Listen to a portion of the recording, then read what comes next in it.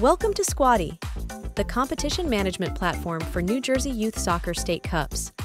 This video will demonstrate how to import and assign players, coaches, and team managers as a club administrator. First, download the Player Coach and Manager Import template from the State Cup webpage. The same template can accommodate each of the roster roles. Insert the relevant first names, last names, and dates of birth for each user.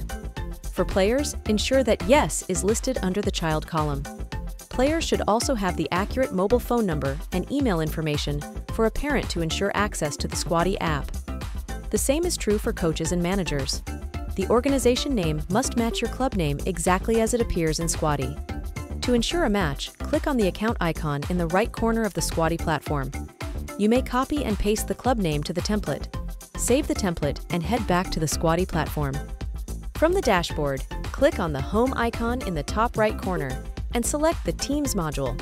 Hover over the Action button, then click Import. Choose a file from your computer and click Upload.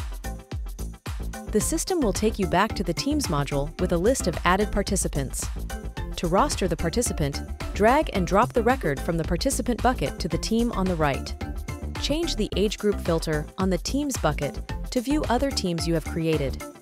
Multiple participants can be dragged and dropped at the same time by selecting the checkboxes to the left of the participant's name.